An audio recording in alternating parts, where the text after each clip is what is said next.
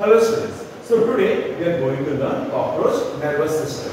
Already we have learned about the digestive system where we learned the different parts and how the system works, different parts etc. And the class which the cockroach comes under insecta and phylum Arthropoda. Right? So before again coming to the detailed part of the nervous system, something interesting as I always put in all my videos, something interesting related to the particular concept or the topic. Now here the cockroach nervous system is very much strong. How, why, or how it is strong? The reason is, uh, if I give take you back, uh, when in Japan, during the Second World War, uh, Hiroshima Nagasaki, where the uh, nuclear bomb explosion had taken place, after three months, six months, when the debris was cleared, they could find every animal, plants, birds, humans were destroyed or was eliminated. Nothing was left out. But when they removed the debris, they could found the cockroach in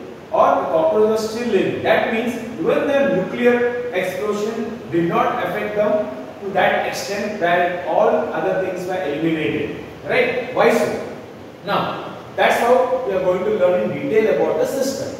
Now in case of cockroach nervous system, they got two parts. One is the nerve ring, which you can see here, and the double ventral nerve cord. Right? And the nervous system in case of cockroach is ganglionated. What does that ganglionated means? It is spread out. Because of which the system is very well developed. Unlike the lower uh, non-chordates, right? Okay. Now, uh, in case of cockroach nervous system, as we learn in the humans also, three things are there, three parts are there. That is CNS, PNS, ANS. What is that? Central nervous system, peripheral nervous system and the autonomous nervous system. Autonomous nervous system which functions on its own, right? Now, central nervous system consists of three parts. That is, first one, supraesophageal ganglia, the second, circumesophageal ganglia, and the third, subesophageal ganglia. Right? So, three parts are. Now, the supraesophageal ganglia or other ways we call as the brain of the cockroach. So this part can say the brain of cockroach that is supraesophageal ganglia. Then the circumesophageal ganglia which is connected by the connective that is circumesophageal ganglia. Now this leads into the thoracic region. In the thoracic we have got three parts that is prothoracic, mesothoracic and metathoracic which leads into the abdominal ganglia which is 1, 2, 3, 4, 5, 6. The sixth one is larger but present in the seventh segment. Now, so these are the different ganglia which are present. Now starting again that is the supra, circum and the sub integrated together from the nerve ring. Now, uh, when we talk about the functions or the peripheral system, the supraesophageal ganglia, it is connected to the antenna there's a nerve innervates into the antenna, into the optic nerve, that is the eyes, and then the labral nerve. Okay, so in all, the three pairs, that is six nerves are present. So these six innervates into the antenna, optic nerves, and the labral.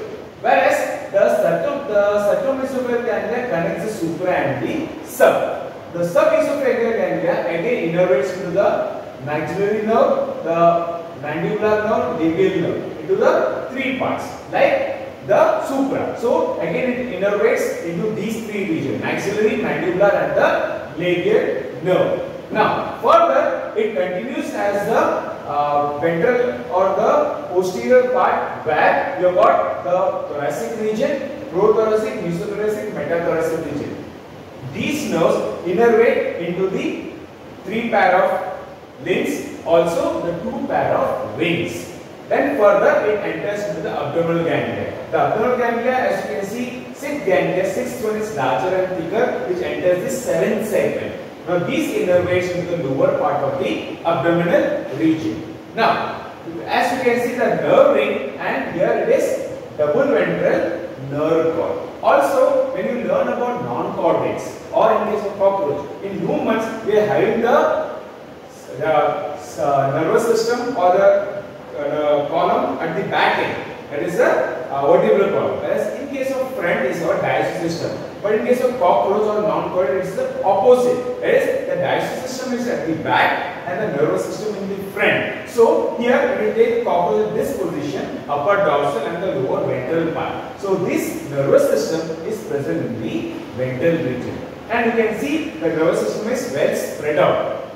Now, I'll give you one more example. Now, in case of the cockroach head which is damaged or cut, cockroach can even survive for 1 week to 10 days. How so? Without head, how the cockroach will survive? Any species, it will die. Reason in the head, the antenna is there, optic nerves is brain is there. So without brain, without optic nerve, how it will survive? It can't survive. But cockroach can still live for 10 days without uh, the head. But it dies after 10 days. Reason? The mouth, mouth parts are present in the head region. So it cannot take in the food because of it dies after 10 days. How does it survive for 10 days? Because of the well developed ganglia nerve. Also throughout the surface of the body they got the spinatus present which help in respiration or breathing part. So that is why the cockroach system is unlike any other non-chordates or even chordates. It is very strong. So it can survive in different conditions, different climatic region. That's why it is present everywhere. It is omnipresent present in each and every region. Okay, so thank you all of you. Hopefully the concept is clear.